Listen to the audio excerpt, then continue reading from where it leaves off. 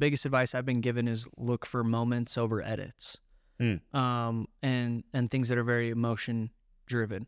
And I think that's what we like to pull from from video and photo is sharing emotion. And so when we're working with things that might be more serious, if you can drive and produce and pull that emotion from somebody, that's a successful product.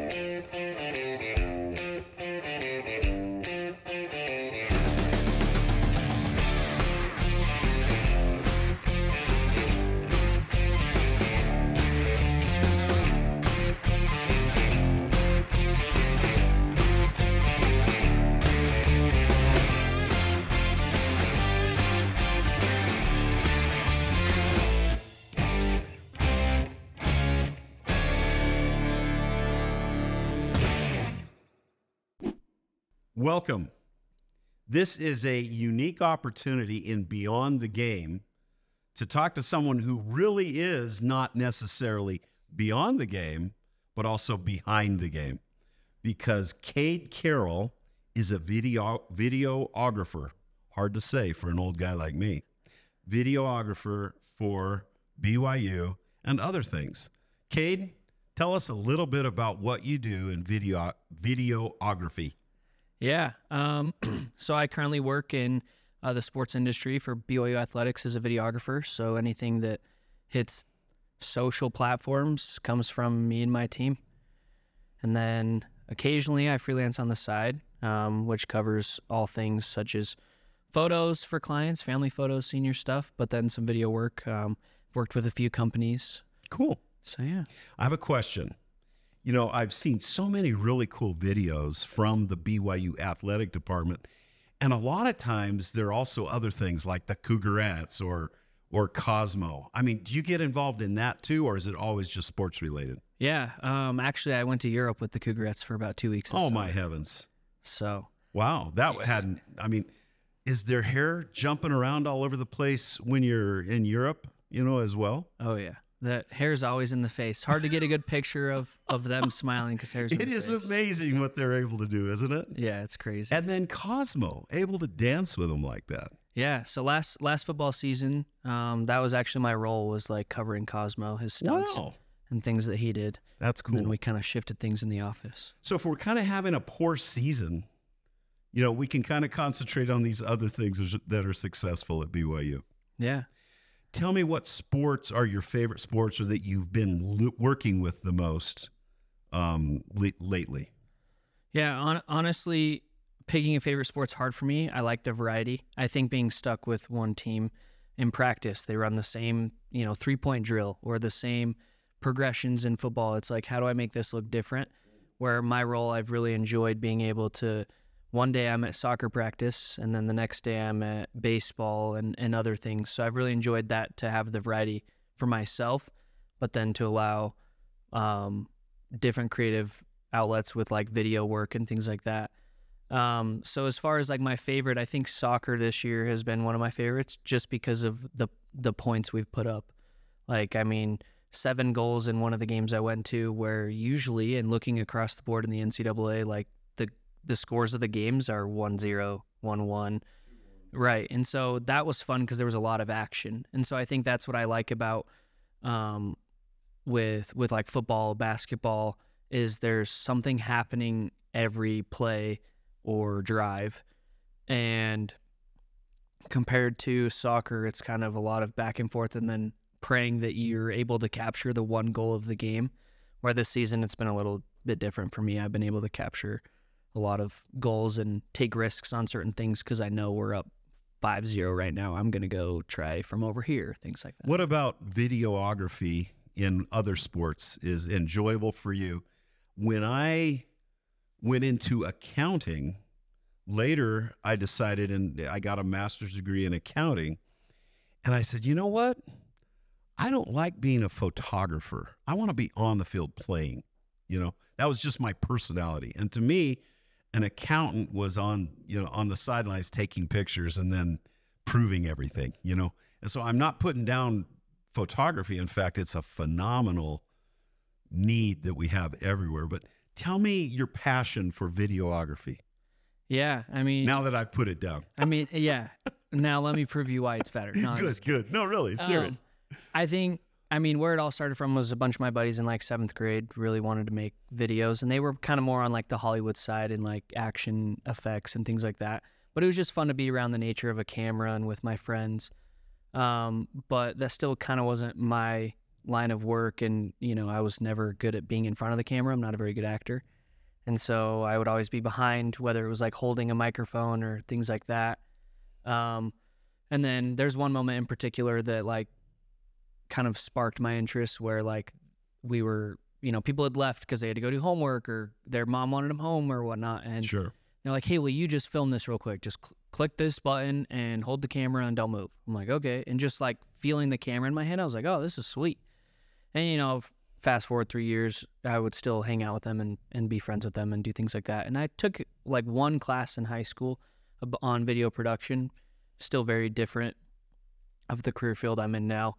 Um, and so nothing had really sparked there, but what had sparked is like I would use my phone and like try and make things with my little iPhone 4. I bought like a case for it that supposedly made the camera lens better, things like that. And and that was fun, but it still wasn't the same as having like an actual camera. Um, and then when I went to college, I decided I was going to buy a camera and from there kind of slowly progressed and got into that field and um, I guess where I went to college kind of expedited that process even a little bit more. Are you gonna now later? We're gonna talk about the West Point versus BYU, but are you talking about your West Point experience and that? yeah. Why did that take you into photography? Yeah. So, well, for one, I was like debating between West Point and BYU, and I was like, if I go to BYU, I got to pay tuition, or I could buy a camera and go to West Point. I mean that that wasn't the deal breaker, of course, but it was it was like I could do that because I don't have to pay tuition there. And so I bought a camera when I went there and started, you know, taking senior pictures for those who were graduating and other people just like occasionally. And I got involved with a, a club called Cadet Media Group Hmm. um, and they were still very like um, not what I do now as far as sports, but um, the the rivalry between Army Navy is ridiculous, Oh, and I don't know if anyone's ever seen them, but um, they have spirit videos that go out and they make the Army Navy spirit videos are ridiculous, like to the point where they'll send cadets to um, to Navy and like steal stuff like Billy the Goat, like things like that. It's over the top of an a rivalry that is so fun to be a part of, and so those were fun projects to be along the lines of where we were scripting and storytelling and trying to create things. Um, but at, at West Point, um, occasionally we had times to work in sports events, more for like documenting for like public affairs. Mm-hmm. Uh, and so that kind of led me down that path. And what ultimately happened is I really liked the sports realm. I'm a big sports guy myself, but I'm not good enough to play at the next level. What are the sports you enjoyed? Uh, lacrosse is what I grew up playing, Wow. and um, And where did you grow up? here in Utah. Okay. I grew up in Highland, Utah, Okay. um, and and East Coast lacrosse is a whole new level compared to out here in the West. And Army had a great uh, great program the years I was there, so it was fun to be a part of, uh, following them. But a lot of my fellow cadets uh, that were still kind of like me, we would find ways not necessarily get out of military things, but if you didn't have to do them, you didn't want to do them. and so they would be managers for teams. So a couple of um, my fellow cadets uh, in my company were uh, managers for the women's lacrosse team. So basically, they would you know hand out waters at practice. They'd be there. They'd watch film. They'd film practice and and help the teams the best they could. But I didn't want to necessarily be a water boy for a team to get out of walking around for an hour with a rifle and I kind of had talked to them a bunch and was helping work with them, but still providing footage with for public affairs that we needed and mostly photos, but could work with the civilian side of um, social and and kind of recruiting side just for kind of I kind of meshed myself with the two so that way I could shoot more. And so I got to a point where I was shooting all the time with them where I was at hockey instead of, you know, going to some class meeting I had at seven or whatever. I've got an admission to make, you know, because I served a mission down in Central America. When I was there, it was four countries, starting at Honduras, Nicaragua, Costa Rica, and Panama. And Panama, every missionary wanted to go to Panama because they had a, a tax free zone in the Panama Canal Zone, in the Canal Zone. And so if you went there, everybody wanted to buy a camera. Now, this was a long time ago, you know, so we had, you had to pull that film through the camera, but I bought, you know, top of the line Olympus OM2 camera back in the 1970s. And I was so proud of that. And, and there's, there's a joy about capturing something. And now here years, I mean decades later, I'm able to to look at those and share those with other people and it's a blast. In fact, we even scanned all those pictures and they can upgrade the color content to way to the way it was. So anyway, it's it's fun that you have been able to do that from the beginning. But I have a question. How did you get to BYU from West Point? Yeah. That's a that's a good question. Kind of full circle moment when I was deciding between the two. I mean, they're both known as very lax schools where there are no rules and you know where you know everything goes right. Yeah, for sure. No, no partying, nothing. um, but but how did you go from West Point, tough school? You have to be appointed to get there, right. all the way to BYU. Tell me, tell me the process, your trail. The, yeah. So, um, to make a long story short, with filming with them, um, a lot of their creatives were leaving at West Point, and Mm. so I was able to say, "Hey, I have what you need, and you have what I need," which was give me authorization to work with you, and I can help you. So in a way, I was doing a lot of work for free at West them. Point. Yeah. And um, they were going to send me to Army Navy wrestling. And I was like, well, I want to go home for spring break. We don't have that many breaks. Um, and then while I was home on spring break, COVID hit and we never went back. Oh, And so that was kind of like the end of my West Point filming. And I was like, well, darn, now what? Um, but also, I did know that I was going to go on a mission. And um, basically, the, I thought I was going to go back to summer training, you know, early June and kept getting kicked down the road of when we- before going on your mission. yeah, but um, the timing of my training kept getting kicked down the road. But all my stuff was still there. I just went home for spring break. So um, finally, they decided to bring us all back after going back. Um, like, we stayed at home, went online, did that whole um, shenanigans with school that was terrible. I don't think anyone learned anything Zoom. fellow cadets are g- full beards, you know, like it was just, it was a very interesting time that no one really knew what to do with. Right. And finally, they decided they were going to bring all of us back um, in like cohorts of like the next three days. And they would test everyone on site. And if you tested positive, you'd go quarantine. And if you didn't, you'd go back to your room. Finally, I finally got pro- out processed, but it took them a long time because of COVID and some other circumstances that they basically sent me home on a release that they would kind of send someone to go home for a funeral. Um, but they sent me home on Saturday. I got home Saturday and I started my mission Monday. And there was talk that I was going to start my mission out there. And I'm like, I don't think that's a good idea because A, the only clothes I have here is military uniforms. People in my MTC district online would be like, what is going on? My roommates would be probably saying very foul words in the back, not the most spiritually driven. Um, but luckily they were able to get me home, but I was still technically in the army for the first six months of my mission.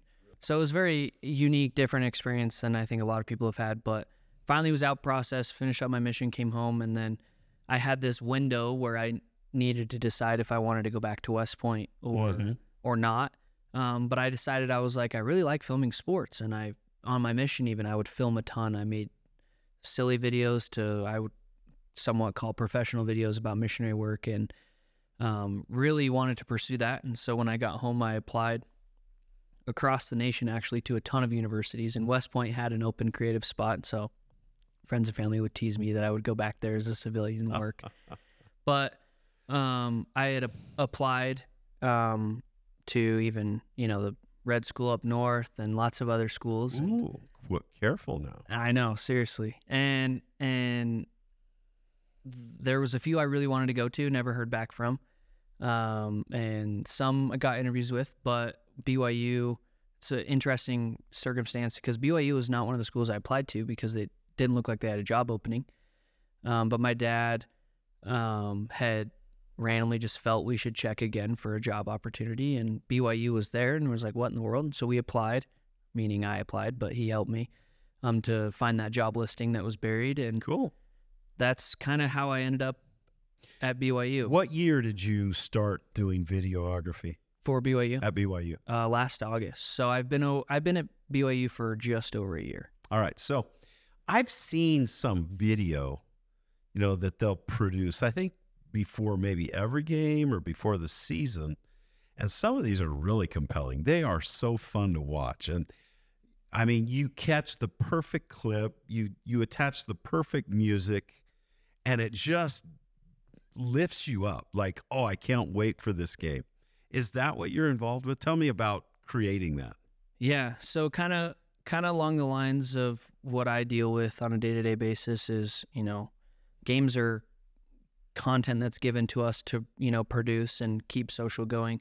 In a sense, I almost look at my job as a way of recruiting, like through social pages of we're creating those hype pieces where if you, you know, were in your prime, not saying you're not, but ready ready I to come I'm play, still in my prime. ready to come play. I thought I was going to get a call from uh, Coach Sitake this year because I saw that they needed me, but no, I'm kidding. I'm But, ver- you very much kidding. But but if you were a senior, junior in high school, and you're like wanting to play at the next level, and you're Mhm. like deciding between certain schools, like the emotion that we want to pull from our social pages, like if if you land on BYU's soccer, football, or basketball, and you're like, you know what, that looks like a university I want to play for. Yeah, Um, whether that's the hype ups before the game, that's like, yeah, BYU is awesome. Like that's a great program to play for. Or in the off season, you know, you've seen all this content about the the players that are on the team that are doing day in the lives or yeah.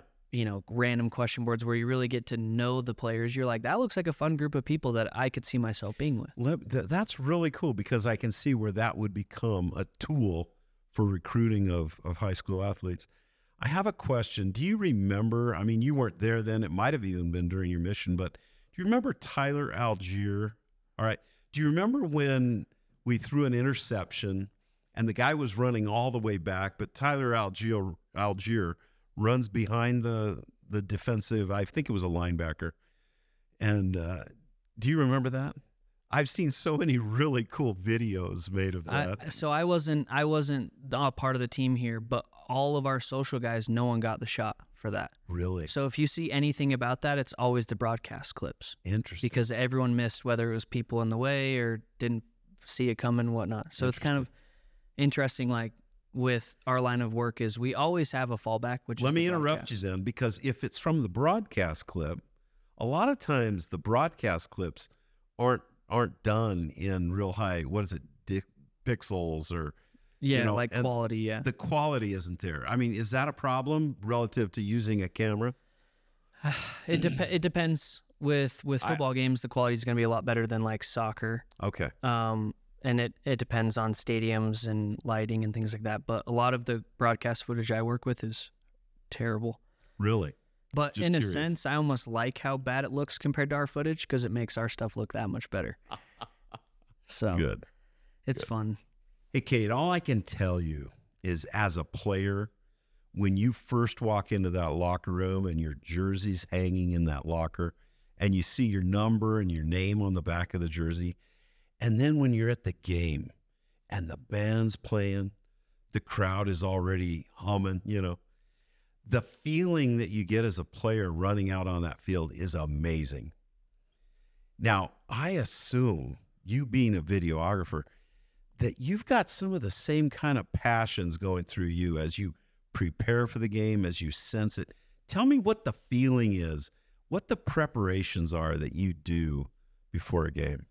Yeah, that's a good question. For me personally, I think one of the greatest um, feelings is that I feel like I'm a part of the team. Like when you're able to come close with the athletes and they know you personally, they know to look for you or or want you know to be in front of your camera, give you the sound bites that you know will work good for. Are you right there on the sideline with the team generally? Yeah, generally. I mean, it depends on which sports, but for Right. for I'm soccer like this football, year, right? Yeah. um, for soccer this year. It's been fun with, you know, going to practice and seeing them work hard. And so, in a sense, it's been fun to be kind of right along the side of the team through their journey. And that's that's one of the most rewarding things uh, about videography, photography that I think I I failed to hit on of why I've started as a passion is that it nothing is greater than seeing someone smile from a product I've delivered them. And that was one of the things that really got me going at West Point was like certain athletes from lacrosse or basketball would walk up to me and be like, "Hey man, can you make me a video?" Really? And, and they would ask me that because they saw what I made someone else that happened to be my roommate during basic training. And so like that's kind of what got started and that's why I enjoy it so much. And so when you as a player running out on the field feeling that, I'm feeling the same way because I feel like I'm right That's what I with thought. That's what I thought. you. And and that's what's been It's just it's So a fun. it's a community feeling, you know, because as a fan you feel it too. right. And I remember I remember my last year, you know, and I was injured. And so I had to sit up in the stand. No, my last year when I was injured, I was down on the field with crutches. But then I take my master's degree and I'm up in the stand watching my team, you know, here I'm no longer an athlete. That was the hardest thing in the world to not be involved.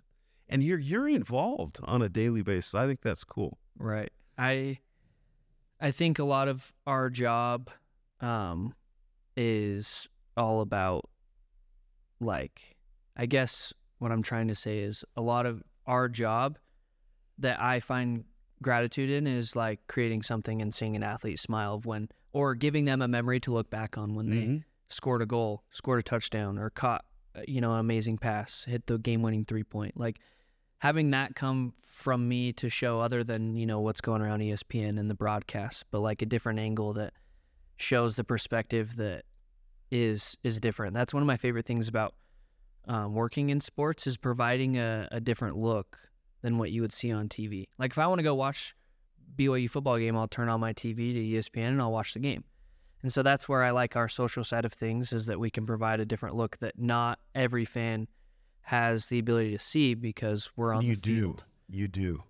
I assume that those videos pre-game uh, in the stadium are produced by you guys too. Yeah. You know, where you've got the guys making their little stances and looking, but that's fun. I mean, you feel like you see the player not just with his helmet and the face mask and everything, but but you see him in in kind of personally. And that's cool. Thanks for doing that. Um, but you also do this for businesses and for musicians.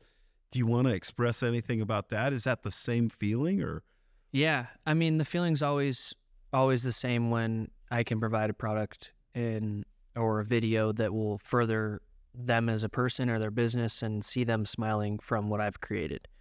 So working with certain musicians who, or you know friends, whatever the case is, bands, um, companies, whether it's clothing, energy drinks, certain things like that. It's fun to say, hey, like I've created this they're happy and then can potentially see their business grow whether that's you know I think the mood with everything's going to change, though, right? I mean, if you were video doing video for something that's more serious versus something that's really exciting right versus something that's funny or something that's just interesting, I, how do you bring your passion, your your personality? How do you how do you present whatever you're videoing in that light, in that context? Is what what things are you looking for? Uh the biggest the biggest advice i've been told is um in general like when we're covering sports like the content's given to us in a way. And so the biggest advice i've been given is look for moments over edits Hmm. um and and things that are very emotion driven. And i think that's what we like to pull from from video and photo is sharing emotion. And so when we're working with things that might be more serious if you can drive and produce and pull that emotion from somebody that's a successful product Good for you. Awesome. You know, everybody in their life, at first we were going to call this the playbook. You know, we are going to talk about plays in football, but plays in everything, plays in soccer, plays behind the scenes in what you do. Um, what what are the things, maybe one or two things in your life that have driven you, whether it's been a difficulty, something, some adversity that you've overcome? Tell me tell me something about you that's made that's brought you to this point in your life. yeah um the biggest thing that comes to mind is i lost my mom to cancer when i was 10 um and How many brothers and sisters did you have? At the time, it was just me and my little sister. Um, and you're living in Highland. Yep, and she was a year and a half at the time. I was ten, so we were How very long young. did she have cancer? um, I mean, she's kind of I mean, had, did this happen all of a sudden, or was it over a per- period of time? she had thyroid cancer growing up, um, and Was she, was she in remission, or No, I, I mean she had thyroid cancer and had healed from that.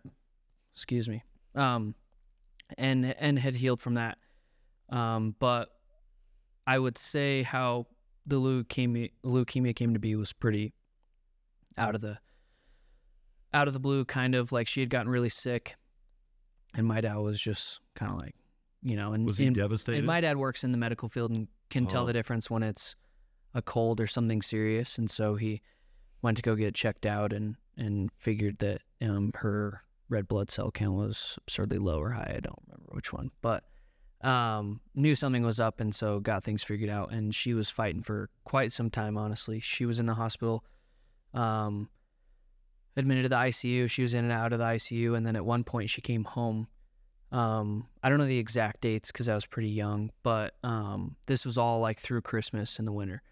And luckily, we have an incredible neighborhood. Like, I mean, after school, it got to a point where I, our whole neighborhood had created a sheet that it was like, hey, you're going to this house after school. This person's providing dinner. Like, it, it was incredible. The love felt from just like our neighborhood and like true neighbors who truly felt like they cared was incredible. Um, but it was hard growing up in like the fourth grade, like have in fourth and fifth grade having to go to so and so random's person's house. yeah, I mean, it's like you're being babysat as a young teenager, or Yeah, and and part of it was my dad had to work, but Yeah. then after work, my dad's at the hospital, and so um, this went on for a long time. My mom actually came home in March, and we celebrated Christmas in March. So our Christmas tree was still up. Obviously, we didn't care to take it down because we had other things to deal with. But my mom came home for a little bit, and then after she had come home, declined pretty rapidly, went back into the ICU, and then had shortly passed away in May. So how does that affect young Kade? Yeah. Um I mean, it's no easy task losing a loved one, especially your mom. Um definitely I would say a lot of the things I try and find motivation is like through that in the sense of like, would my mom be proud of this? And there's probably a lot of things I've done. She's How not do you proud of. remember her? There are probably a lot of things you've done that she would, but you know that's all of us, isn't it? I mean, Yeah. none of us is perfect, but tell me about the pride that she maybe something in your life that you've accomplished already because you're young. Um, so there are many more things in front of you. Yeah. But what what are maybe some of your your accomplishments or the things you've over overcome that your mom would be proud of? one one organization that comes to mind is called Be the Match, where they try and find Be the match. yeah, they're a nonprofit organization that tries to find matches for bone marrow transplants. Oh. Um, so I ran my Eagle project with Be the Match um, at Nitro World Games at the Rice-Eccles Stadium. Wow. I don't remember exact numbers, but we got a lot of people to sign up for the registry. Um, and it's cool to see someone that you helped sign up on the registry say, "Oh, hey, I just got a phone call that I was a match for so and so out in Texas," um, because they potentially are able to save that person's life, and that's one thing that has been super fun to kind of live through is seeing other people's willingness to help other people. All right, so that leads me to another question. Maybe this is off topic or some tangent, but giving up bone marrow, how do you do that? A lot of people think it's a very invasive, scary process. Yeah. But they can actually pull it from IVs. They'll try multiple ways. The worst one everyone thinks of is where they like actually drill into your hip. Yeah. But you can get it from the same process as kind of giving blood. And then do you have to take like a week or month off to replenish the bone marrow or what happens? I'm not too I'm not too researched on it, but That's but I don't believe so. I believe it's it's only pretty bad when you're getting drilled into. wow. So No, but what a great thing. I have a very good friend who gave a kidney to someone who a relative that was closely matched and you know, so now he's living with one kidney and but he saved the life right. of his relative. Good for you. And wow, what a what an interesting thing. Your father, how's your father? How did your father overcome that difficulty? Yeah, for um for a while it was difficult because he had two kids to take care of and he had to work. Um and so luckily we have awesome neighbors who were able to take us in who one of them was my best friend growing up and their family really embraced us and so I laugh all the time and make jokes that I have like six moms. Um and they truly were a great role in my life to raise me.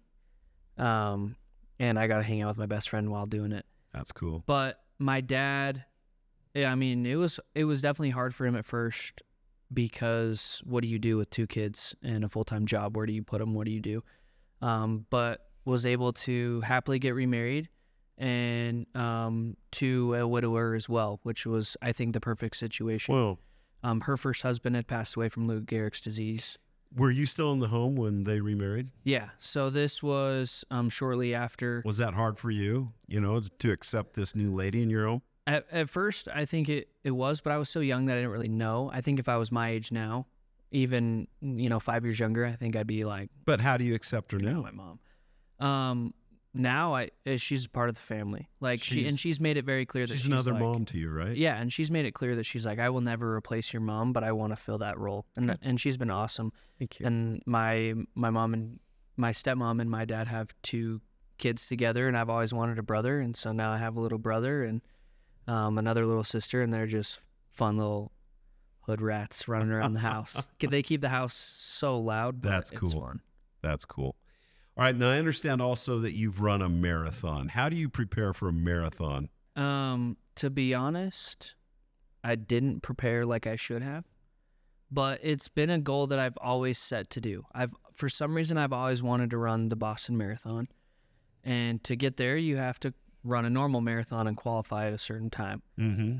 And so that was one goal that I had seen other friends do and run and complete. And I was like, I just want to do it. And maybe what kind of sparked it was my dad and I did this thing called a 50 20 I've Where- heard of that. you do 50 miles under 20 hours. And Yeah. that was not necessarily running. Like we were kind of fast walking, ran a little bit, and walked. Honestly, it's probably one of the most emotional experiences I've ever felt. And for myself, like Really? personally, like When when did you feel that emotion? mile 24. Mile twenty four, and it's a twenty six point two. Yeah. Or okay, Well, maybe it was closer to 23 because my I'm like halfway is through. it at the point you knew you were going to make it? and when, well, when when did you feel this emotion? yeah, that like the whole the whole race I felt completely fine, which is weird. I'm like 18 miles in, I'm like do do do woo, like not tired, like I felt just um, amazing. And everyone says it like mile 18, 19, you hit the wall where it's like that's where everyone is like done. And I just blaze past it. I'm at like mile 20, 21. I'm like, the wall? Never heard of her, right? Like, I'm like, this is easy. And I hit mile 22, 23, and I like break down crying. Like, I'm like, I'm going to do this. But it was in this, it was like just so crazy that I actually could do it. And the reason why is I had set a goal for three hours, 30 minutes Mm. and every 13 or not every 13 it was like every i can't remember exactly but they had a text thing when your bib went through that would send you your pace so i would check my watch and i'd have a text from a number and it was like hey your pace is this to finish at this time and it was well above my goal and so i was like You mean below your goal? Yes, well, time, yeah. yeah, well below my goal, and so I was just excited that I was going to crush my goal. And um, mile 23 hits, and there are people at this point. You've caught up to the half marathon, the 5K, the 10K, and whatnot. Where there are people in front of me. I'm like, how are they in front of me? And so it was like mentally, I'm like, how are these people in front of me? And not to like judge them by their, you know, cover appearance or whatnot Sure. But there are people sitting down on the curbs there are people passed out there's one guy that's hit his head and bleeding you know like i'm just like i'm not going to finish this my toe started to kill Oh, gee. and so then i'm mentally like that and then i'm like a- looking at myself i'm three miles away and you're really not going to finish this you know what i mean like i was like kick it into gear like Wow. finally i finished and i came across and i like I, I one of the things too i documented on my phone i like filmed and like i came while you're running. yeah, and I couldn't even, I couldn't even like say my time without getting a little choked up. So I my goal was three hours thirty minutes, and I beat it by twelve minutes. And Good for you. and that was my first marathon. To qualify for Boston, I got to run at eighteen minutes faster. But for a start, that was phenomenal for me. That is so cool. Thank you, Kade. I had a similar experience. Of course, now I'm an older adult. You know, I have a family. In we your lived. prime. What's that? In your prime. I'm still in my prime. In fact, today I'm still in my prime. I could go out and catch one-handed passes still. I just run like half the speed. but seriously, I I loved bicycling. I had a big knee injury my senior year in college. And so bicycling is what kept me alive. I just and and it was a similar type thing as your marathon, but we lived in Farmington, New Mexico, which is up in the northwest corner of New Mexico, not far from Durango, Colorado. So Durango, Colorado, they had the uh, what they call it, the Iron Horse Race, and this is a race that races against the the railroad train that goes from Durango, Colorado, up to Silverton, Colorado. It's a 60, 62 mile course that goes up two giant peaks, 17,000. That's probably not right. I think it was like 13 or 14,000 feet elevation. So you climbed about 13 or 14,000 feet during this bike ride, and it was grueling. And I didn't know if I'd make it. I'm serious. It was cold, it was windy. There were times when it was snowing. Long story short, I get up over the second peak. And at that moment, everything's downhill to Silverton. You can just ride your brakes down, you know. And I started crying. I was like, what's the matter? I mean, I'm not supposed to get emotional. Just this is just a bike ride.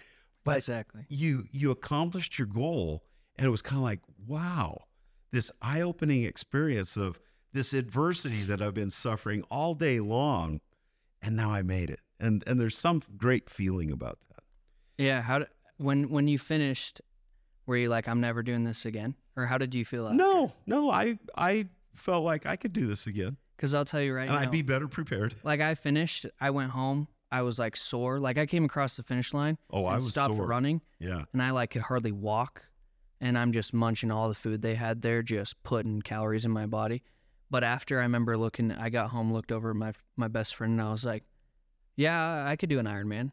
You know, like I'm excited. I want to do an Ironman. And, I, and then I look at myself and have a reality check. I'm like, why? Why did I say that? Like I don't want to do that. Right. But it was like our bodies crave adversity. There's no growth in a comfort zone. And so, like, if I'm just chilling on the couch and I'm comfortable, I'm not growing, like you said.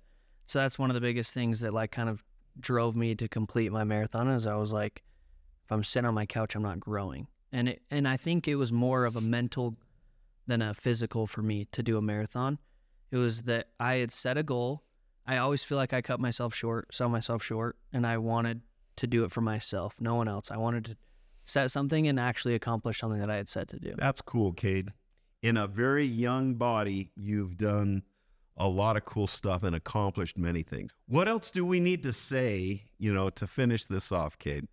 What what is your for our oh. beyond the game, which is typically about talking about the stories beyond or behind the game or the season or whatever. Tell us something that we need to know about you or about something you've witnessed, particularly if it's about BYU or the Cougars Yeah. or whatever. I don't know. I think I think my biggest takeaway from life in general, and I probably learned this on my mission, is just that there's more than face value. There's more than the game. There's more than, and that's one of my favorite things about working in the career field I work in. The people I've met on my mission and in my life is that there's such a unique and cool story to every person. Everyone grew up differently. Everyone has a different past history, and it's fun for me to learn that. It's also fun for me to document that when when it's available to me. Can I? I'm not trying to interrupt you because I want you to finish, but I want to witness. I'm going to be a witness here because I'm one of those guys that when mom or your grandma or or your wife wants to set up for pictures, oh, do we have to? Come on, we're busy playing games or watching a game, whatever.